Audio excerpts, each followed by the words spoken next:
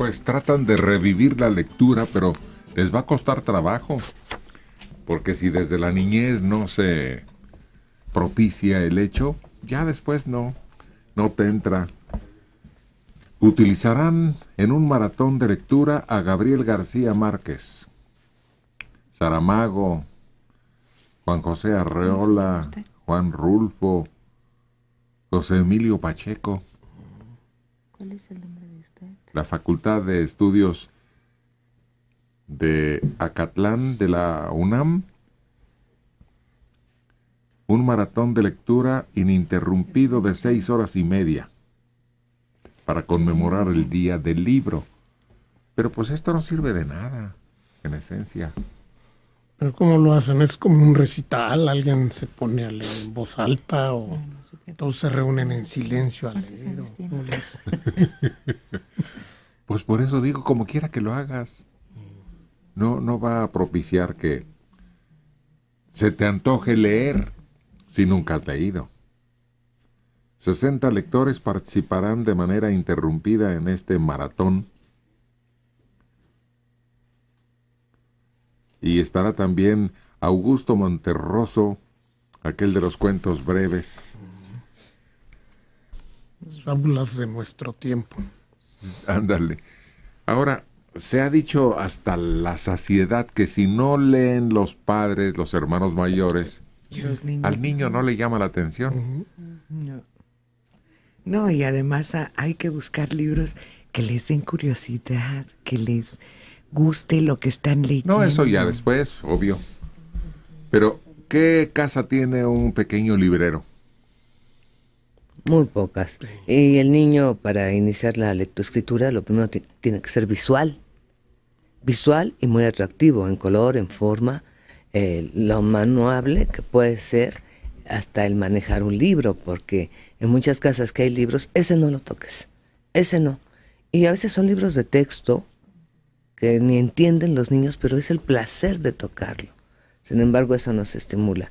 Un libro visual, que se han hecho muchos intentos, estos libros que son en tercera dimensión, con origami, pero no es solo eso, es la- el, el inicio de la lectoescritura tiene que ser guiado por un adulto, que tú se lo hagas a menos. Si el niño ve los- las letras no le dicen nada, signo, símbolo, significado. No, no me dice nada, pero yo le digo, mira, aquí dice que la mamá le dijo a los pollitos esto. ¿Dónde está la mamá? Ah, aquí mira eso. ¿Y cuántos pollitos hay? Tres. ¿Y cómo se llaman? Interactuar con el niño en la lectura puede ser el inicio de la afición. Pero no, no se da desafortunadamente. El vicio solitario le llamaba doña Eva Godoy. Sí, Pues sí, bueno, el bueno. El bueno. Porque yo- no, y- y es que ya no hay, yo me acuerdo que en tiempos estaba el Tesoro de la Juventud. Ah, Uy, como estaba Pero eran unos librotes, ¿no? Eso. Yo creo que esos no, no incitaban a leer. No, yo creo que las revistas, mira, este, el sucesos, el contenido, el Selecciones todos esos que son lecturas breves, sí era un buen ejercicio, pero pues ya no se compran esas revistas. Y ya son muy distintas. En aquella época No, puede haber otras. pues, excepcionales. Sí, pues sí, había otro tipo de estímulos. Bueno, eh, eh, no había casa en que no llegara, por ejemplo, el siempre. Y era, eh, pues tenía de todo para todos, había la parte El periódico, para empezar, nos llamaban la atención las caricaturas. Había una sección de pura caricatura los domingos en los diarios. ¿Se acabó? Sí, las páginas cómicas de los domingos que eran a color. Pero novedades tenía cotidiana, tiras cómicas de casi toda una plana de tiras cómicas famosas como el tío Barbas, Don Laureano, la Noticias. familia Tarugo. ¿Y qué hay que leer?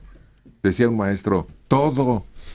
¿Cómo todo? Pues ¿qué es todo? Decía, mira, si llegas a la tienda de abarrotes y te dan envuelto en un periódico eh, medio kilo de piloncillo que te encargaron de tu casa y lo extiendes, léelo.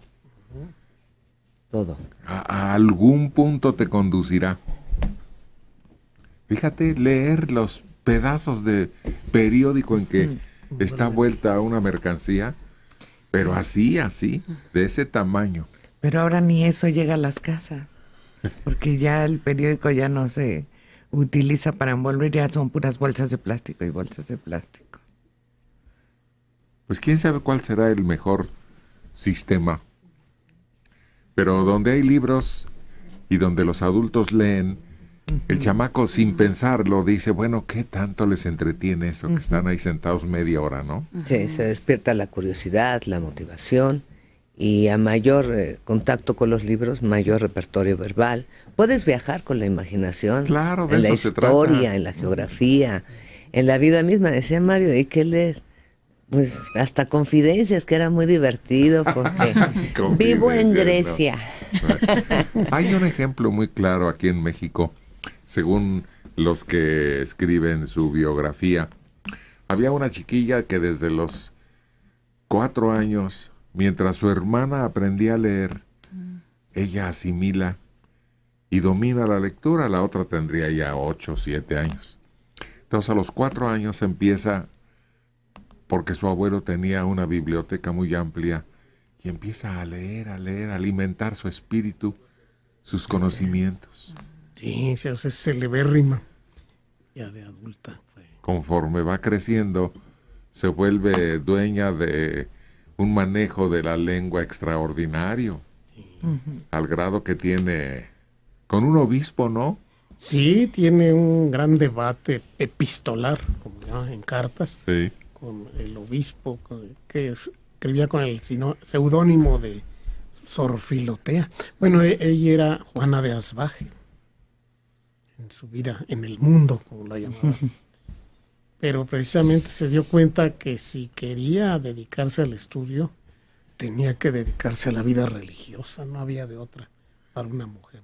Y cuentan como una anécdota de las varias que hay en su eh, vida, que en ese tiempo tener el pelo largo era el mejor adorno de una mujer. Era la maravilla, ¿no? El pelo y, y- y era la costumbre. Y se cortaba el pelo cada que, que rompía su, su, su disciplina de lectura y conocimientos. Sí, sí. Autocastigo, se laceraba, se, Sí, ay, de ese tamaño. se castraba. Es Pues una se- forma se, de... eliminaba eh, la belleza de la mujer, que era el mejor atractivo El, el para una dama. pues, es castrar un poquito simbólicamente. El, el cabello tiene una connotación muy sensual, muy erótica, dentro de lo que es la psicología. Es parte del atractivo de- del hombre y de la mujer. El hombre con barba, con bigote puede ser muy atractivo para algunas mujeres. Hoy día no sé por qué se depilan todos los chavos. Naden o no naden. Empezó como una característica de los nadadores. Y hoy día se depilan que pues, Habrá quien le guste, ¿verdad? Pero hay que recordar que tiene también una función el vello eh, físico, eh, corporal, pero el cabello es erótico, es sensualidad. Pues a ver qué sistema encuentra usted para que sus hijos... Ah, Bien. otro era, este, le voy a regalar al niño en su cumpleaños o en alguna ocasión especial un libro. ¿Qué libro? Aquí nos preguntan frecuentemente. ¿Qué libro le obsequio? Métalo a la librería. Y que que vaya ahí abriendo los ojos ante los diversos temas, que hay librerías que hasta tienen, pues hasta las librerías de viejo, ¿no? Por temas, Sí. Y que escoja uno, y que ahí se esté y se entretenga. Hay una librería donde no encierran los libros así como con preservativo. ¿Cuál? Este, la que está ahí en lo que era el cine Bella Época. Ah, sí. Ah, donde está la sala, la biblioteca Rosario Castellano. No, no, No, no. es El eh, cine Lido. El, el cine. Lido, el Bella Época. Sí. Ahí incluso tienen una zona acondicionada para los niños. Es un espacio que tiene cojines para que el niño pueda tomar el libro que le interese y lo pueda estar hojeando, leyendo. Tiene una alfombra, se tiran en el piso. Y Y, hasta juguetes hay didácticos. Sí, hay juguetes, están los libros, hay de tercera dimensión, hay con ilustraciones, sin ilustraciones, y es un lugar muy agradable precisamente para que el niño se sienta en una actividad que le causa gusto, no que es por obligación o que tiene que ser así sin moverse y como un tipo castigo. ¿no? Y ningún libro está encerrado. Ya ves que en todas las librerías ahora Ay, les ponen sí. un plástico. Y no lo puedes ojear sino ver la portada y la, la parte de atrás. No, ahí no. Ahí abres el libro, lo ojeas, te entretienes. Si hay sala de lectura, te sientas como si fuera una biblioteca. Algunos sillones y cojines. Y si tienes ganas, ahí te sientas a leer toda la tarde. Y te dan comodidades, precisamente para que sea eso, un goce el leer. Entonces el objetivo no es tanto vender, sino motivar a la lectura para después vender. Una buena estrategia. Con respecto a la lectura, tengo una experiencia con mis dos nietos de 5 años y de 6 meses.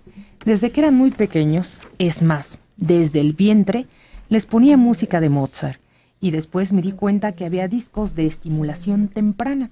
Con todo esto, vi que mi nieto de 5 años empezó a leer desde los 4 años. También leo con mi nieto. Le regalé una enciclopedia infantil y le explico lo que no entiende. Ah, y los idiomas los aprenden más rápido.